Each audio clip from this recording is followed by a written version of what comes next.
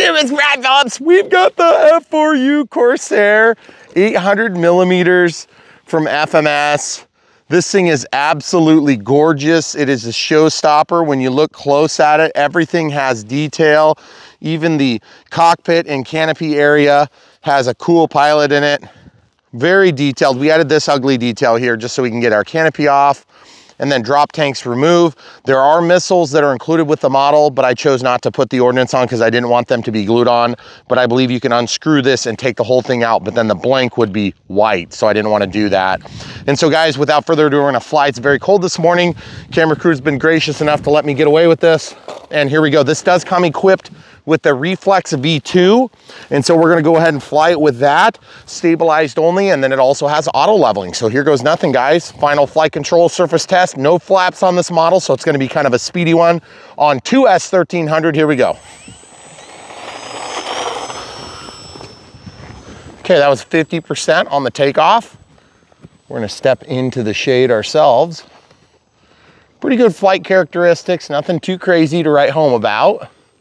Need a little bit, a couple clicks of trim on the elevator. Not a powerhouse, definitely need to get into the throttle. That's what you were seeing on the takeoff. We're gonna fly in the bowl to stay in the light because this beautiful blue definitely makes it hard to see in the shade. As you can see, 2S leaves a little something to be desired on power, but it definitely has a nice scale appearance. And guys, these little 800 millimeters, I haven't done any trick trimming at all, but if you get into the power just right, you'll have pretty good experience. Sounds like the prop is just a little teeny, teeny, tiny bit out of balance, or we're getting a little vibration there coming in down the runway. You good? Mm-hmm. Full speed pass, just to show you what's going on here. It's definitely not gonna be a powerhouse. Kind of reminds me of the FMS 1700 millimeter F4U Corsair actually, which is ironic. Let's show you some rudder authority. Not terrible, guys. I thought that was gonna be our number one problem. And just for your information, I had to get into the throttle to not slap into the ground on that stall turn. Up and over. Kind of doing a lot of bull flying because that's where the sun is right now. Looks really cool up against the trees. Camera crew, you wanna, let's go out by the end of the driveway there and see if we can get a couple more passes. I'm gonna just kind of do figure eights out here for a minute. Our wind is chilly and it's calm. So we're just gonna come out here and see if we can catch some rays, try to get a couple closer shots. Guys, just remember if this plane kind of feels like it's getting away from you, just get into the throttle. Those drop tanks definitely add a little bit of extra drag. So if you want it to be a little less drag, you can take those off. We do have a small voltage alarm involved. Just a little two through 3S voltage alarm. So it's even smaller than our crappy voltage alarm that we use other times. Okay, full loop this time. Into the power hard, just to make sure we don't smack the ground. And it up and over our flagpole. Which by the way, if you guys have never asked about the flagpole, it's a fiberglass telescopic pole. And we added those for PPG and they have been so nice for RC that someday we may end up just like having some links involved to get those things to you too because they're really really cool. And we actually have grown to really enjoy them. We have three of them on our property. So guys fixed gear but they look absolutely gorgeous. Only complaint with the fixed gear is that they have a large boxy gear door simulation on the front which means lots of drag and they look gorgeous. This thing flies fantastic. You just got to stay in the throttle a little bit. I'm about 65, 75% all the time. Camera crew about two steps toward me, please. We're gonna go in low. There we go. Okay, so as you can see, let's go out into the snow just in case I wanna try to take a landing here. Okay, I'm gonna try to stay out in front of us here. Like not that. here we go. So as you can see, guys, you gotta be really Johnny on the spot. I'm between 80 and 90, maybe 100% throttle this whole flight. And what I don't like about that is planes that require full speed are not forgiving. So folks, if you're a new pilot, this F4U actually flies pretty easy for a more experienced pilot, in my opinion. But I would definitely say that it is feeling very stable with reflex. Let's show you auto leveling. Here's auto leveling. Okay, so about 60, 70% throttle, sticks, empty. Very good, very good performance. Up, down, up, okay? So just kind of giving you guys a shot. That blue sky is gonna make that plane disappear with focus, almost guaranteed. Look at your limitations on roll authority. Okay, and then out of that, and we're just back into the stabilized mode. Now, if you want, you can actually use a three position switch rather than a two. We use switch A, which is the gear switch. Let's see if we can take a touch and go. You good? Okay, don't move out into the runway. Okay, now rudder authority leaves a little bit to be desired. And as you can see, we're getting pushed just a little bit and we did knock down the berms. We got cold enough weather that I could drive onto the actual shoulder and knock down the berms, which took out, was it the Bushmaster the other day? Okay, here's our timer. Haven't had any squawks from the uh, voltage alarm. But as you can see, we're just gonna have a little bit of a complex landing here just because of that little teeny bit of crosswind and this thing just needs the speed. So we're gonna see if we can See if we can get it to line up here. Yeah, it's gonna be okay. Rock hard tires definitely don't help with that. I didn't set up flaperons on this because we have the reflex. And uh, I think I'm gonna get a little altitude. I'm just gonna try to bleed off some inertia. And here we go. So bleeding off inertia, about 30% power. You gotta stay in the power to land this thing, guys. Hate to break it to you. Okay, out of the power. Full up elevator, and we'll just see what we can do with it. Oh no, we lost one of the gear. Let's, let's pause and see what we got going on. Okay guys, we're just gonna have the camera crew hold this for just a second and let's look at what the heck happened, guys. What? it must be colder than I thought because this thing actually straight up sheared. That is incredible. And I don't think that was my fault. You can look at it. It looks like it was a weld. I mean, it wasn't a perfect landing either. But as you can see, it sheared that metal, uh, which is gonna be a bummer because it'll be tough to get that out. Now, let's just be honest though. Otherwise, beautiful plane didn't even get a scrape on there. That's a miracle. Didn't break the prop, so no big deal there. I think what we're gonna do is we're just gonna call this one good. We're gonna put a pin in it. And uh, I think this thing is just a gorgeous little plane. We'll have to talk to FMS and get an extra replacement gear on this one, or maybe we can plop one out from another plane. But absolutely gorgeous plane. Uh, if you do get one that breaks like this, you might be able to bend your own wire and stuff it in there just to get by, or you can just drop off the drop tanks and do some belly landings. But obviously we're not doing belly landings in the snow.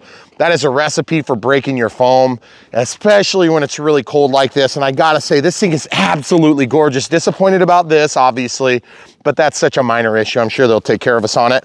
But yeah, the F4U Corsair in eight, 800 millimeters. It's like a little baby plane and we love it because it flies so dang good. I don't like it because there's no flaps and I don't like it because the gear broke. But you know what, what are you gonna do? Sometimes these things happen. We're gonna let FMS come through and get us a replacement part. That's one of the beautiful things about working with FMS is that you can follow the link in the video description below. You can buy this for your very own. We'll show you the full radio setup. If you stay tuned, or actually when this is done, you'll see the links. We're gonna show our dual rates and expo setup because we forgot to put that into our unbox build radio setup. Our apologies, that's my fault. Uh, but it is following this flight. And then if you wanna watch the full exhaustive unbox build radio setup, you can see that published one minute before this flight. So definitely a cool plane. I like the way it flies. It's gonna be a little bit tough to land when it's extremely cold and your fingers are freezing because that's what's happening. We're below zero this morning. And definitely, I think that probably had an impact on the way this gear broke. But at the same time, if you grease that thing and you won't have that problem, if you're on geotextile fabric, you won't have that problem. And complaint number one of the year, hard tires. We need soft tires. FMS, I know you can do it. Come through for us. We're begging.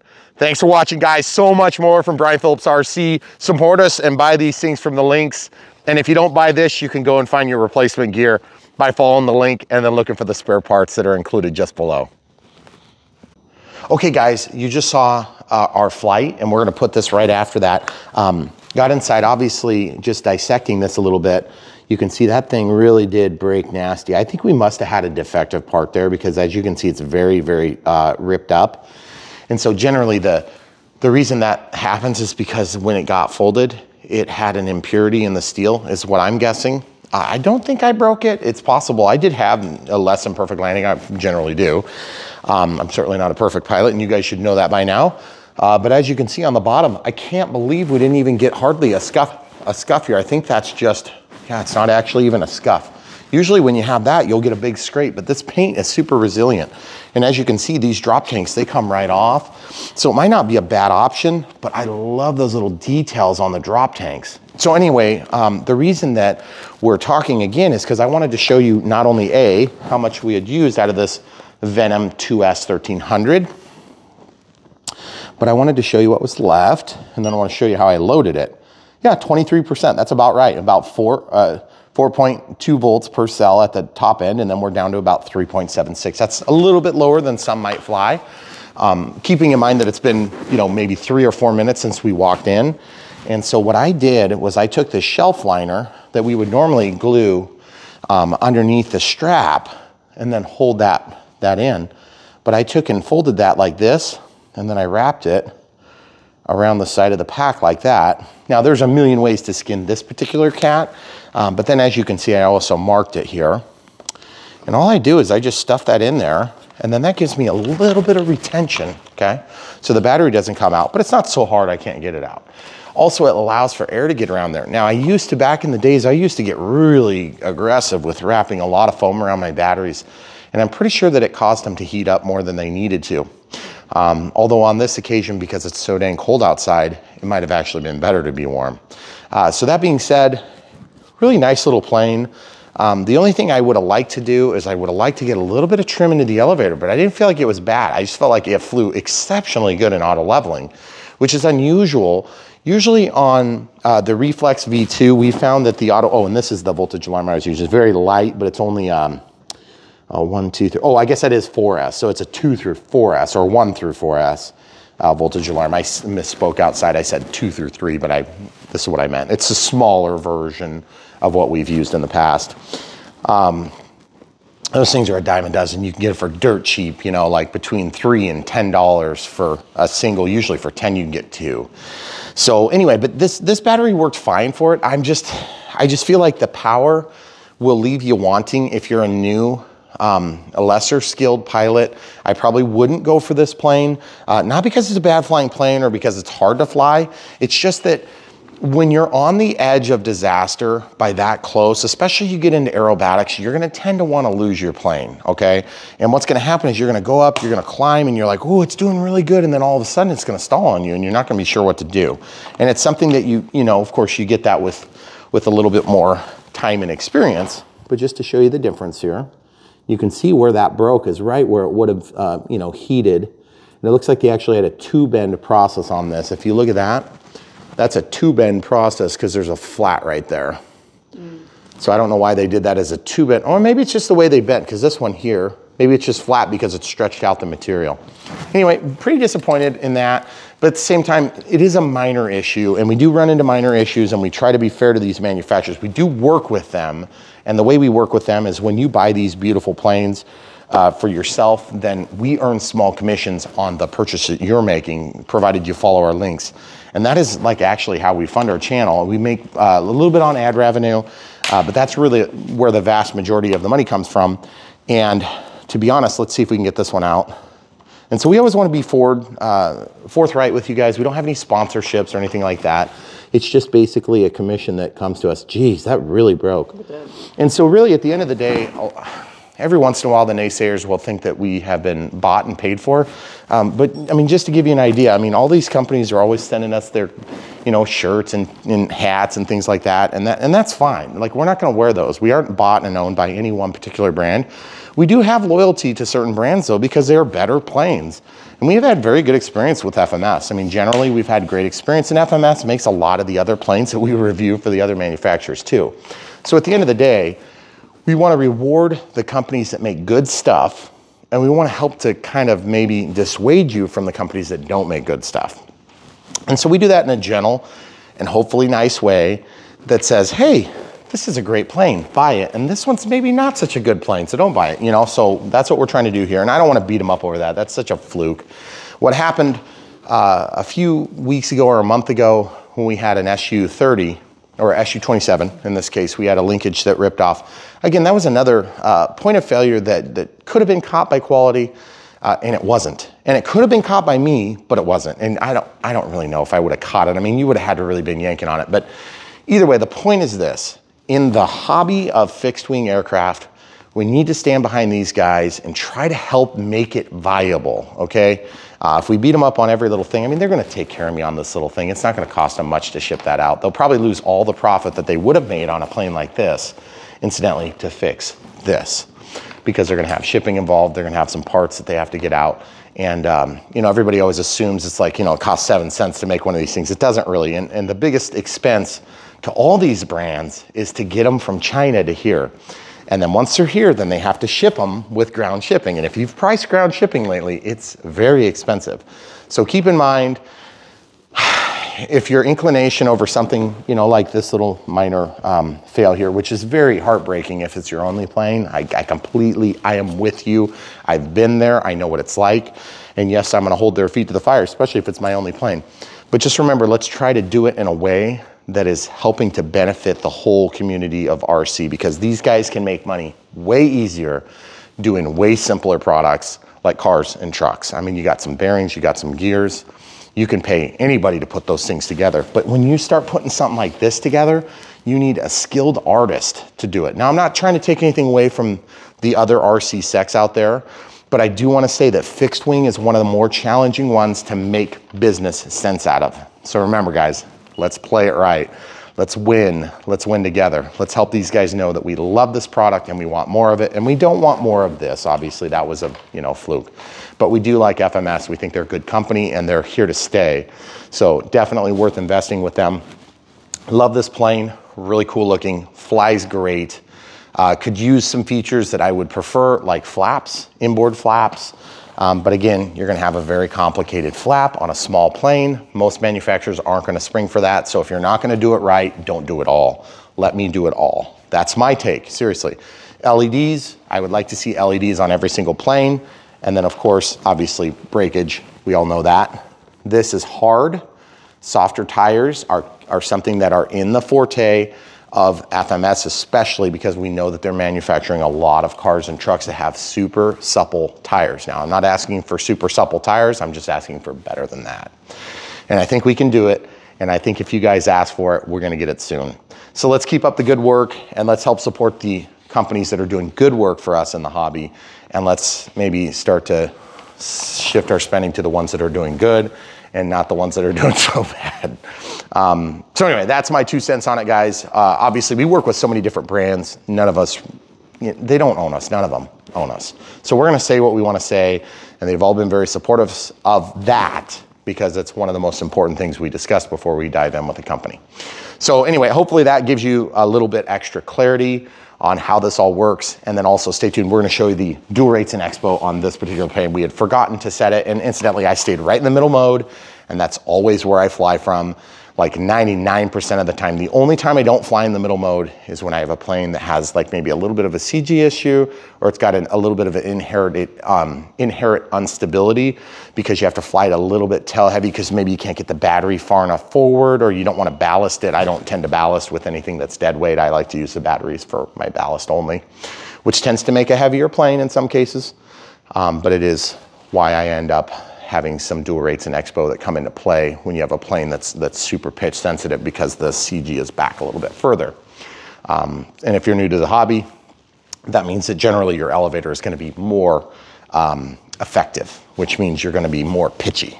So anyway, so much more on Brian Phillips RC. We love sharing these details. We know that it's gonna help enrich your RC experience and we're doing it to help serve you guys in the community and we are winning too. So everybody wins when we work together, and let's keep doing that. Stay tuned, guys. So much more from Brian Phillips RC. We'll go over the dual rates next. YouTube, sorry we forgot to share the dual rates and expo setup on this little F4U Corsair. And so we're gonna do that right now. You've already seen it fly. So I'm just gonna go in here to dual rates and expo. And you can see these are set to nothing. So I'm just gonna turn that to switch F. I'm gonna set this to five. Then I'm gonna set the middle switch to 10, and then I'm gonna set the top switch to 20. And I'm gonna drop my rates on this setting down to 90. And so as you can see, we'll have half, the normal, and then double. Okay, so that's what we're gonna do on all three of these. We'll just set through those real quick. Set it to switch F. Turn the Expo to five. Turn the Expo to 10. And then turn the Expo to 20. And what this does is this will soften the sticks while we're flying. And so it helps kind of take the edge off of the controls. And we always start in the middle in case we got a little bit too much or a little bit too little. Whoops. Five, then 10. Sometimes we forget this in the unbox build radio setup, so our apologies on that if you guys were waiting for that part. I always like to show as it's flown, at least. Okay guys, that was it. We really appreciate you watching this video and thanks for being part of our little community here on Brian Phillips RC. If you have questions, leave them in the comments below. Don't forget to subscribe, click the bell for notifications, like the videos, and then buy stuff from the links in the video description below, like this. And if you can't find the video you're looking for or the playlist you're looking for, you can also check out brianphillipsrc.com where we have everything laid out and we're getting them categorized right now. So hopefully that helps you find what you're looking for. Stay tuned. So much more from Brian Phillips RC.